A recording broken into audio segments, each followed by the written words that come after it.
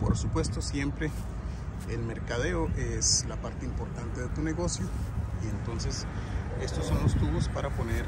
dos, tres banderillas que vamos a poner, ya lo vas a ver. Te recomiendo que los tengas, tengas siempre los tubos unidos y también marcados para que sepas cuál tubo va con cuál, porque cuando se tienen más de dos eh, sets se te puede hacer un enredo y se más, se te hace más difícil al ponerlos juntos.